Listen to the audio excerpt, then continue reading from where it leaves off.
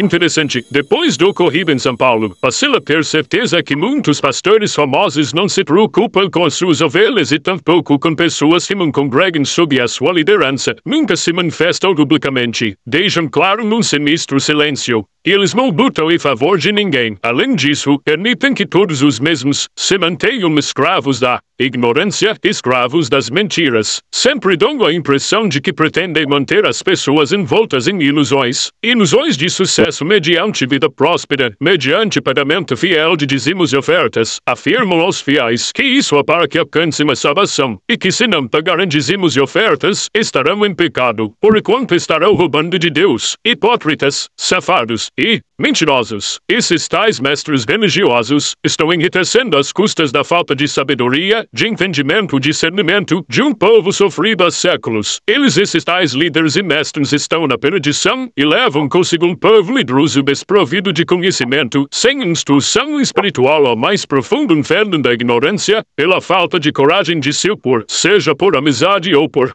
Respeito nunca os contrariam. Deus certamente não concorda com isso. Por isso minha fé está estabelecida em Deus, através de Jesus Cristo e orientado pelo Espírito Santo. Jamais firmarei compromisso com templos suntuosos, igrejas milagreiras e prósperas. Bem assim eram os templos no passado. Templos onde existam falsos profetas, materialistas, ministrando falsamente as sagradas escrituras, dentro de seus próprios interesses, em favor de si mesmos, os tais líderes que enganam sem nenhum escrúpulo, na maior cara de pau, enfiam guerra abaixo de seus membros e fiéis, a necessidade de não deixarem de pagar seus honorários, ou seja, os dízimos e ofertas. Deus me livre e desvie dos meus caminhos na terra desse tipo de liderança espiritual. Líderes que nunca saem em defesa da humanidade, vivem numa redoma, protegidos de tudo e de todos que nos conhecem suas ovelhas. Líderes religiosos que só pregam fidelidade a eles através do medo em posições bíblicas que não existem ou não são mais necessárias por terem sido abolidas por Deus, aliviar seu Filho Jesus Cristo. Esses tais líderes, supostamente cristãos, vivem 24 horas enfrentando ninzors,